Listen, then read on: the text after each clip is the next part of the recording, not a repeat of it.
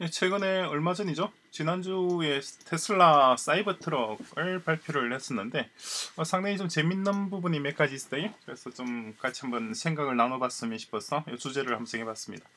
어, 사이버 트럭 얼마 전에 발표했는데 혹시 못 보신 분 있으면은 요 사이버 트럭이 이, 이 어떤 의미인지에 대해서 좀 한국어로 설명을 잘한 분이 있어요. 이분이 어, 이름이 어떻게 되느냐니까 자동차 미생이라고 하는 음, 뭐라고 해야 되나 어, 유튜브 아이디를 쓰고 있어요. 그래서 테슬라 트럭에 대해서 어, 좀 설명을 두 편에 걸쳐서 나눠서 하고 있는데 상당히 설명을 정리를 잘했습니다. 어, 그러니까 요분 얘기 들어보시면은 어, 사이버 트럭이 기술적으로 기술적으로 어떤 음, 의미가 있는지를 잘 설명하고 있으니까 혹시 관심 있는 분들 한번 보시기 바랍니다.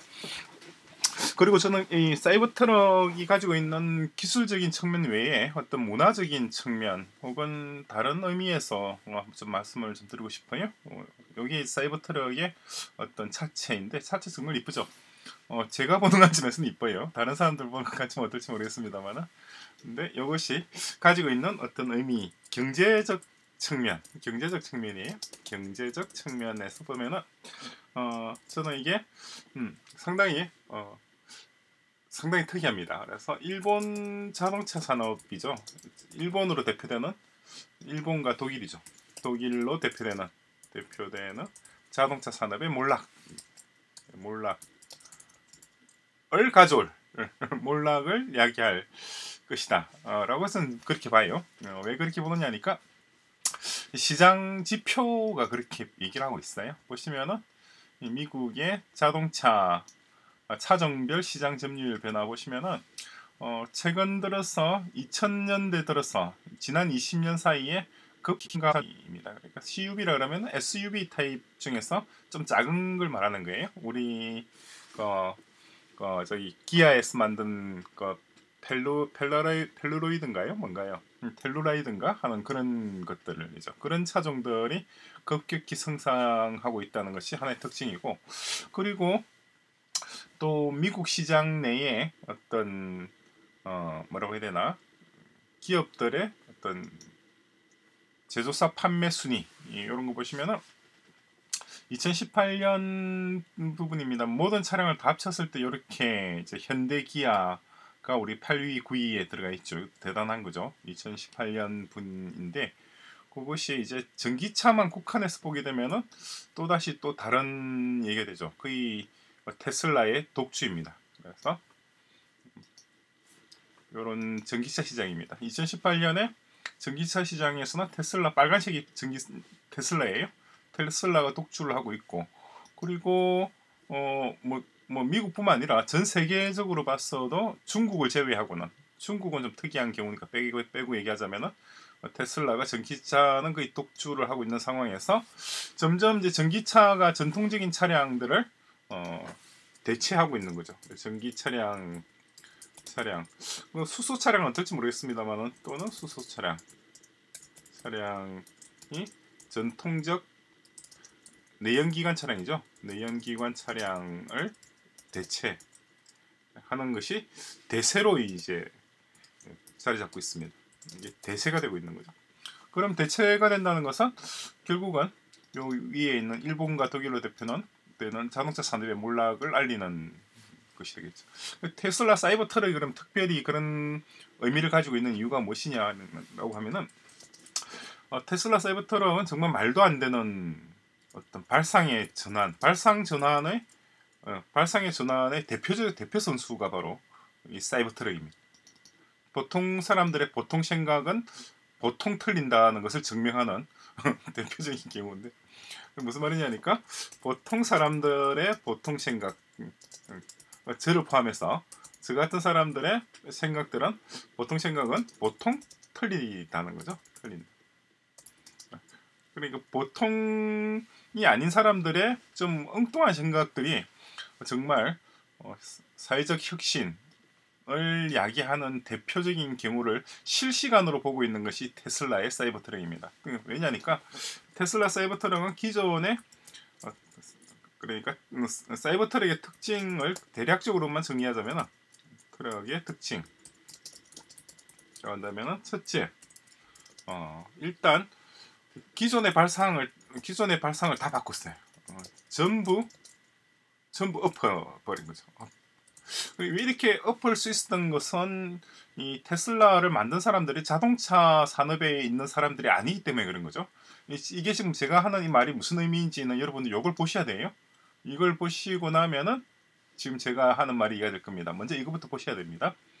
그래서 보시면은 기존의 발상을 전부 엎었다는 것이 특징이죠. 그리고 무엇보다도 이 가격을 말도 안 되는 가격 다운 그러니까 비용이죠. 이걸 이제 어, fair 경제학적으로 fair market value라고 하는 공정 시장 가격을 fair market value라고 그래요.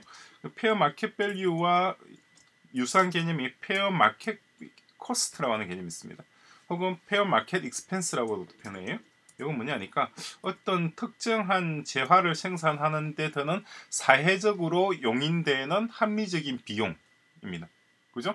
그래서 이러한 종류의 트럭을 만든다. 어, 이러한 종류의 테슬라 트럭을 만든다고 하면은 어, 이런 걸 만드는 데는 돈이 얼마쯤 들겠다라고 하는 것이 사회적으로 어떻게 합의되어 있는 비용 수준이 있단 말이에요. 그게 이제 어, 포드의 F150, 이게 포드의 F150 음, 이고 뭐 그러한 이러한 이제 트럭들이죠. 뒤에 있는 트럭들을 만드는 데 드는 비용들이 대충 얼마다.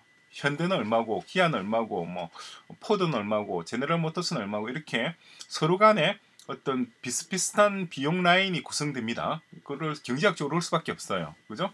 그런데 그 요 비용 개념을 완전히 깨버린 거죠. 완전히 엎어버린 겁니다. 전혀 전혀 새로운 형태의 비용을 가져가기 것이 또한 사이버 트럭의 특징입니다. 경제학적 측면에서 그래요. 예전에 어떤 물건을 만드는데 100원이 든다고 하면 그것을 50원으로도 똑같은 물건을 만들 수 있는 어떤 생산력의 대표적인 선수로 등장한 거죠.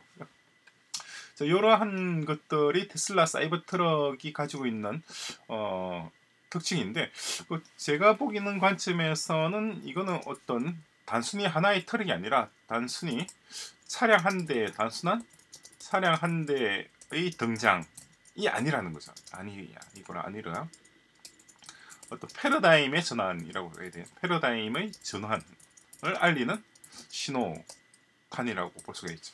이 패러다임의 전환, 전환 이라고 한다면은 어, 기존의 자동차 산업, 그죠? 기존의 자동차 산업이 기존 자동차 산업이 사라진 기존 자동차 산업이라고 한다면은 대표적인 것이 이제 내연기관이고 그리고 또 뭐예요? 사람이 운전하는 거잖아. 사람이 운전하는 그러한 것이 이제 기존 자동차 산업인데 요것이 요 패러다임이 완전히 사라지는 어, 신호탄으로서 요 사이버 트럭의 등장이 알리는 의미가 크다는 거죠.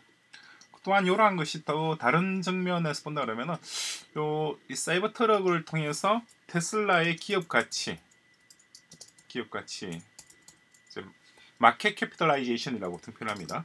market capitalization MC라고 표현해요. 기업 가치가 대략 50조에서 100조 정도 50조에서 100조 정도 어, 상승할 것이다. 이라고 추정을 하는 일부 경제학자들이 있어요. 근데 저도 제가 전공은 제 백그라운드 자체가 제 관심 분야가 금융공학이었어요. 지금은 프로그래밍을 하고 있습니다만 이전에는 금융공학 쪽을 했었는데 금융공학적인 관점에서 봤을 때도 마찬가지 테슬라의 기업 가치가 요 사이버 트럭 하나만으로 하나만으로 50조 내지 100조 이상 가치 상승이 있을 거라고 봅니다. 사이버 트럭 트럭 이 가져오는 것이 테슬라의 기업 가치 50조에서 100조라는 거죠. 그렇다면 상당히 더 재밌는 현상입니다. 왜 재밌느냐니까 요 트럭이라고 하는 것은 그냥 요 그냥 말 그대로 차량이에요. 이런 차량을 한번 구상을 한 겁니다. 엔지니어들이 테슬라에서 어, 앨런 머스크가 직접 했는지 아니면은 다른 엔지니어들이 이런 구상을 했는지 아니면 서로 머리를 맞대고 만들었는지 그건 알 수가 없습니다만은 어쨌거나 몇몇 사람들의 많아봤 많아도 세 사람을 넘어가진 않을 거예요. 세 명 정도의 머리에서 요런 요런 아이디어가 나온 거예요. 이 아이디어가 이 차량이 기존에 있는 차량의 모든 개념들을 다 엎어놓은 음, 차량입니다. 기존의 자동차 산업에 있는 어, 상식적인 모든 것들을 다 엎은 차량이죠. 이런 차량을 세 명이 만들어서 세 명이라고 가정을 합시다. 세 사람의 머리에서 나왔어 어, 테슬라의 기업 가치를 50조 내서 100조를 증가시켰다는 거죠. 50조와 100조라고 하는 요 금액이 뭐냐는 거죠. 50조와 100조라는 금액은 우리가 알고 있는 전통적인 전통적인 엘리트 그룹들이라고 한다면은 어, 누가 엘리트인가요? 의사들. 그죠? 돈 잘 버는 의사, 변호사, 회계사, 뭐 또또 뭐가 있나요? 변리사도 돈을 잘 벌죠. 그리고 또뭐 어, 기업 경영진도 있을 것이고 그리고 어, 고도의 기술을 가진 엔지니어들, 고도의 기술을 가지고 있는 엔지니어들, 이런 사람들 개개인이 개개인의 평균적인 어떤 사회적 어, 부가 생산 능력, 가치 생산 능력, 생산 능력을 경제적으로 추론을 해요. 계산할 수가 있습니다. 대략 뭐 맥시멈에서 50억 정도로 볼 수가 있을 거예요. 그러니까 변리사 한 명이 어느 우리 한국 사회에 추가하는 어, 평생 동안 추구하는 가치가 50억 정도 될 것이다. 혹은 의사 한 명이 의사 한 명이 50억 정도의 가치를 어, 사회적으로 생산해낸다라고 상정을 할 수가 있죠, 그죠? 그렇다면은 이러한 사람들 몇 명이 모여야지 50조에서 100조가 되겠느냐는 거죠. 그죠? 그러니까 이게 의미하는 부분은 상당히 커요. 테슬라에 있는 그 앨런 머스크라든가 이런 사람들 몇 명이죠? 몇 명의 엔지니어가 만 명, 뭐 2만 명, 3만 명 혹은 뭐 10만 명의 기존의 엘리트들을 생산하는 가치만큼을 생산해낸다는 거죠. 그죠? 그게 또한 상당히 재밌는 현상입니다. 그러니까 상당히 재밌죠. 한 순간에 그러니까 한 명의 어떤 변리사나 의사를 어, 양성하기 위해서는 굉장히 오랜 시간 동안 수십 년 동안의 어, 공부를 해야 되고 훈련을 거쳐야 되고 그렇게 해서 한 30년이 지나야지 그나마 쓸만한 의사 한 명이 만들어지잖아요. 그죠? 어, 유치원부터 시작해서 한 30년 정도 교육을 시켜야지 변호사 한 명이 만들어지는데 어, 그런 사람들 수만 명의 사회적 가치를 몇 사람의 엔지니어가 하루아침에 만들어낸다는 거죠. 하루아침에. 그게 제가 보기에는 가장 큰 어떤 변화와 혁신, 패러다임의 전환을 알리는 게 아닌가 싶어요.